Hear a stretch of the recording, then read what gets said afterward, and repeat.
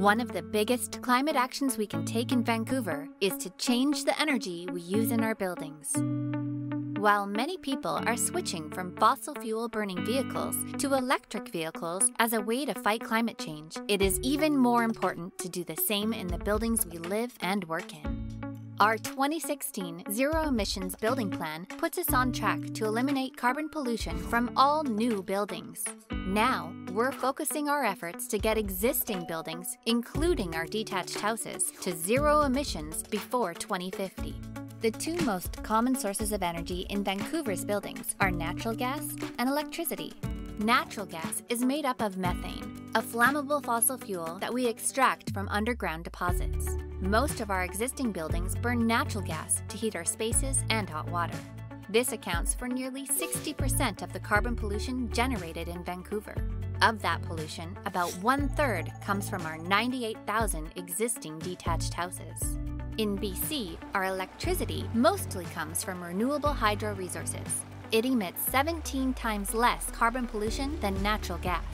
There's also a growing supply of renewable gas, made from capturing methane from organic waste collected from farms and landfills. Switching the equipment in our homes to renewable energy, like electricity, makes a big difference. High efficiency heat pumps that use electricity can replace our gas furnace or hot water tank.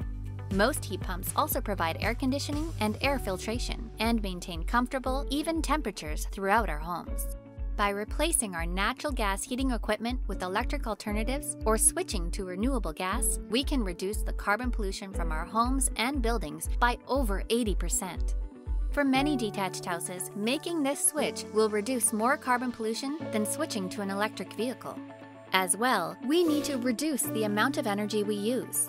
By adding insulation, new windows, and sealing up leaks, less energy is wasted, and it makes our homes more efficient and comfortable.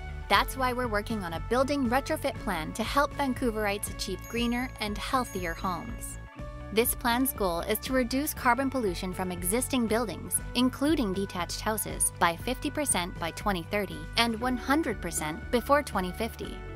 To do this, we are drawing on the latest science and best practices from other forward looking cities from around the world. The good news is, we can tackle existing inequities, not just carbon. By using rebates, resources, and services appropriately, we can support those who most need help. This transition to renewable energy will result in more green jobs. We are ensuring enough new skilled trades and renovators are trained, and that local suppliers and manufacturers are ready to deliver the clean building technology at the scale we need. Let's take action.